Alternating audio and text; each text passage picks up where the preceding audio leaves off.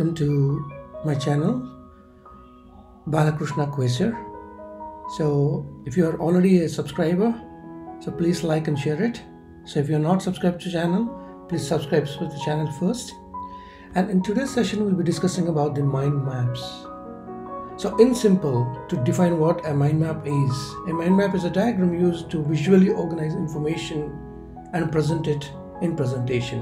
So one of my best student has asked me to create a mind map which is related to the presentation skills. And this is the video all about. And this video is dedicated to my best student from people to school Madanpalli location. Now straight away coming down to the point. So if you look into the presentation skills today presentation skills has become a core competence and most important aspect in each and every role. And that's the reason. So if you look into this presentation skills part, we have totally eight most important factors like communication skills, 4 P's, content presentation, speech dynamics, learning fast, and analyzing 5 W's. So what are these 5 W's we'll be getting to know about it in future. And how do we plan for a presentation and what is body language? Now let us start without any further detail with the communication skills communication skills can be mostly acquired through these seven C's of communication. So, when you get into the seven C's of communication, the first one is a candidness. So, in simple to say what is candidness, you should be very straightforward with the topic, what you are trying to present to the audience. And when you are presenting the concept or a presentation or a topic, the theme, whatsoever it is, the first thing is you should be able to face the audience in front of you that means you should have the eye to eye contact with the jury members, if any, and audience when you are trying to present the concept. The second most important thing is the clarity. So, how clear you present your uh, sentences or the presentation or the theme in a straightforwardness. That is the clarity. In simple to say, the quality of the content always depends upon the words that you are using and the sentences that you are creating and the simplicity of the sentences. See, when you are trying to present something in uh, presentation skills or on a dia, see that the words should be very simple so that even a layman should be able to understand what you are speaking about. Then we have concise. So, conciseness being very short in presentation, not too more elaboration is required for each and every important aspect.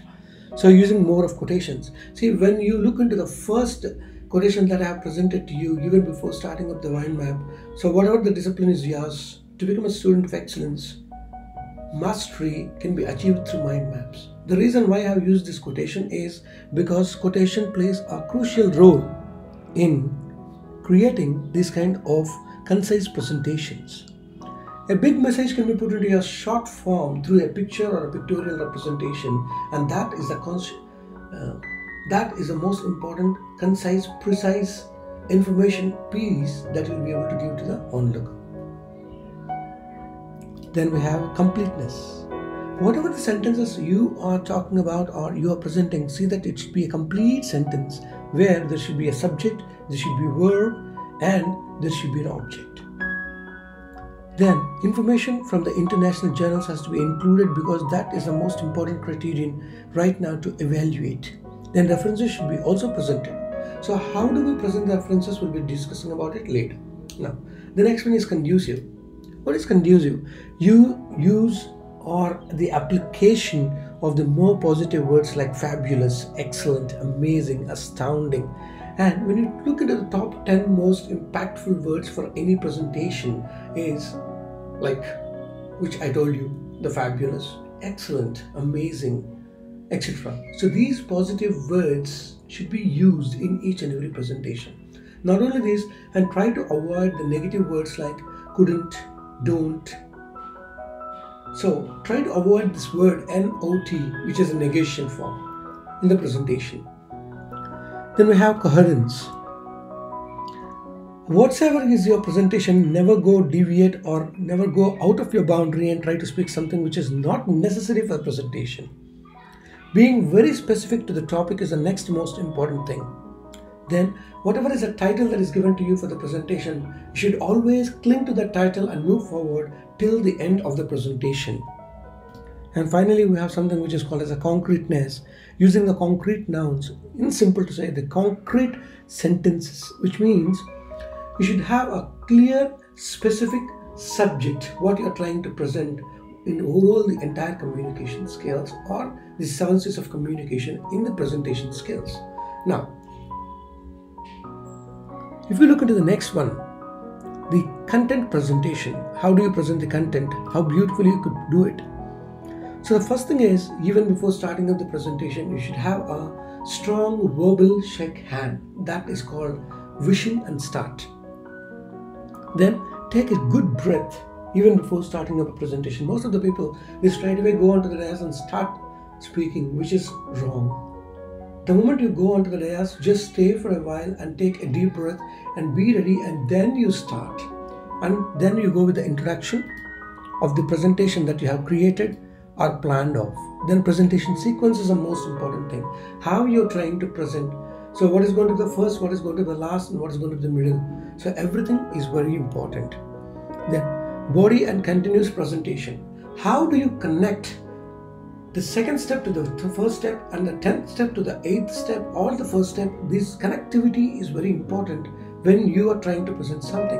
And finally please do not forget every presentation should have a conclusion which is very very vital and important. Now we have the next most important thing which is called as the speech dynamics. Introduce yourself in a creative way. Now the question is how do we introduce ourselves in a creative way so if you look at this, my name, for example, if you take my name, my name is Balakrishna, and how do I introduce myself in a creative way? For example, Balakrishna, which is a combination of Balarama and the Sri Krishna. Now I introduce me like I creatively introduce me as the strength of Balarama and the tactics of Sri Krishna combined together form Balakrishna. When you try to give a presentation, please remember people are not trying to expect something, the data which is collected from the internet and presented in front of them. No it is all the way you introduce yourself at the first point. That is the first point where you create an impact with the judges. When you create introduce introduce yourself in a creative way, then that particular judge will be completely interested towards you because you try to present something in a different way. Then get the attention of the audience. This is very, very important. How do you get the attention of the audience? So, the only way or the best way to get the attention of the audience is give one word the excellent blow. In the sense, amazing. When you tell this, when you say this particular word with loud voice, all of us, all the audience will look at you, what's happening. That loudness, that power, the capacity to deliver the message in a right way, with the right tone, with the right size, and the right volume is considered to be getting the attention. Then build a rapport. What, what kind of rapport are you trying to build with the people? So you are trying to build up a rapport with the textual information between the users, I mean, between the audience and you to get connected to them. Then humor. No doubt, humor is one of the most essential factor for any presentation, but not completely humorous. The place where you use the humor in a right way can be used to make it a little more humorous when you're trying to present something. Then use a short story. Yes, this is needed in modern days because a short story presentation can be given so that you can make the audience little think in a different way. Then make audience to think. Give them the frequent questions. So what kind of questions? Say for example, if you find other than these important aspects which are related to the spy, speech dynamics, please post it in the comment.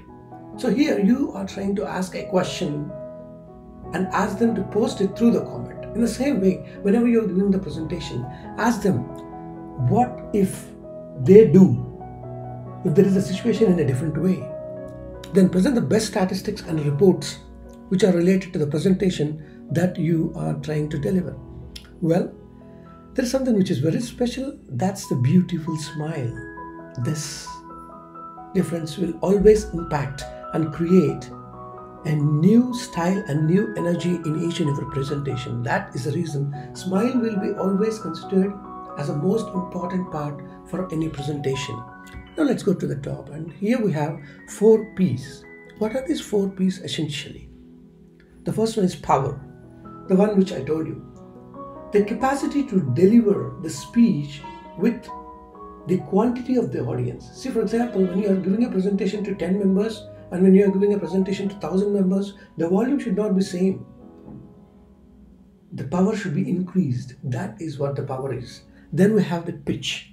Pitch, in the sense, the sudden fall and rise of the information flow. For example, when you're talking about the Mahatma Gandhi, one sentence, let us take. Mahatma Gandhi is one of when we say the same sentence like this, Mahatma Gandhi is one of the best impact creators of the world or the torchbearers of the world, then that is called as a pitch. Pitch means how beautifully you raise your sentences to the maximum height. Then pace. So how beautifully you're going with the pace. Pace is a way of making your sentences a little faster sometimes and little slower sometimes. It makes the difference between winning and losing all about the pace. For example, if you talk about a call center representative, the moment he takes the call, he says, Thank you for calling Verizon Analytical Support, and this is Krishna. How may I assist you today? This is a very fastest sentence, and at the same time, when he apologizes, he says, We apologize for the inconvenience, ma'am, inconvenience, sir. The reason is he has decreased the pace. So, increase of pace and decrease of pace are the two essential factors for the success of your presentation. Then pause. Pause is a place where you stop your presentation for a few seconds and continue suddenly. What does this pause give you? It makes the audience think a little high. When you give them the question, just give them a second to think what they're doing. And that is called pace. Now, the most crucial factor, which is called the body language, which is the next important constraint, eye contact. Always I said there should be an eye contact between judges, between audience, and you. There is a, always a triad connectivity between you, audience, and judges. Then, gestures gestures are nothing but the way you move your hands, the way you represent an idea in terms of not exactly oral but in a physical way. Hands and body movements play a very important role in creating the gestures and body language when you're trying to present. Body language is something which is very, very important, which is considered 60% when you're trying to represent something to a person. Then, postures, cross hands, and holding your hands, these are not really encourageable. The way you stand reflects your confidence. The way you present it reflects your confidence. That is the reason body language plays a crucial role. As we have a video which is very short, I don't want to prolong it for too long, and that is the reason I'm going very short and straightforward. Then we have the f- most important thing planning, which is to be done at the first. So if you look into the planning, preparation of notes, how you're preparing notes, and preparation of quotations and collecting the quotations from the various sources.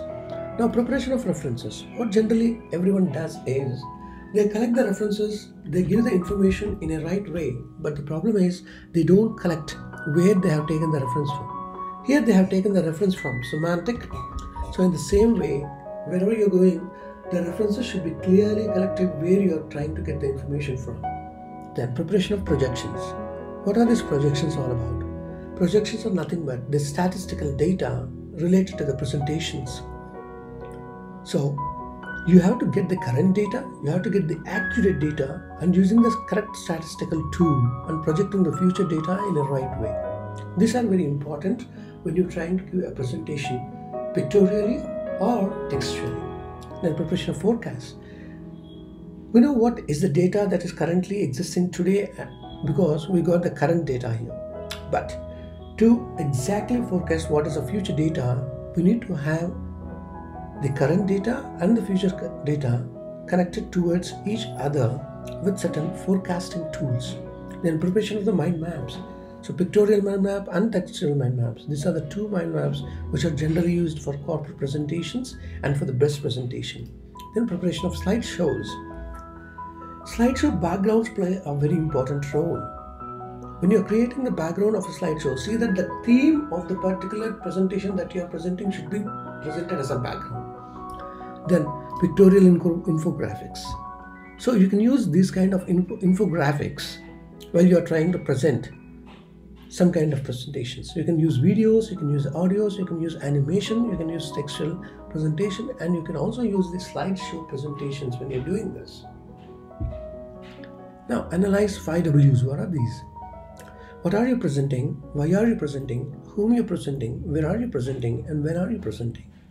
These are very important for every presenter, even before giving the presentation to the final audience. Please remember what are you trying to present? Where are you trying to present? To whom you are trying to present? See, there are people who are very old and you are trying to present something and you should not be presenting it for too long because they don't have the patience to listen to you for such a long time. So, each and every factor that we have put in here are carefully the observations of the great presenters in the world. Now, if you look into what you are presenting, remember what you're presenting is only for 18%. How you're presenting is something which is 82%, which includes your body language, which I told you, then the four piece, which I told you, then the content presentation and speech dynamics. And that is the reason this is very important. Please remember this 82% of your presentation skills depends upon how you present it. That is very, very important. Now, the last but not least, what is learning fast? How do you f- learn something very faster? First thing is to learn something which is very new or which is very old. Please try to forget what you have learned earlier. Forget what you know. Make your brain very empty and make your brain ready to accept new things.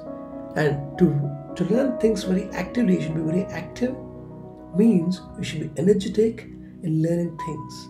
The state, the mood of learning. You can't just learn things when you are upset. So that is the reason an emotion with information will be a long lasting memory and that is the reason where you have to information where you have to do the information exchange then the state of the mind should also be considered a lot then the best way to learn something is to teach when you learn it please teach it to others teach it to learn. So that is how you can learn things very, very faster. And now the question is, what are all these arrow marks? How did why did I do that? So the reason why I did was like there is an interconnectivity between each and every node that you are seeing. These interconnectivities are mentioned in this way. So probably I hope you enjoyed this. And this is a small video where we are not going to present everything it is just a brief glance about what exactly are the various constituents of the presentation skills. So, hope you enjoyed this and please do subscribe to the channel. Please like and share and comment. So, thank you very much for this wonderful opportunity and have a wonderful day.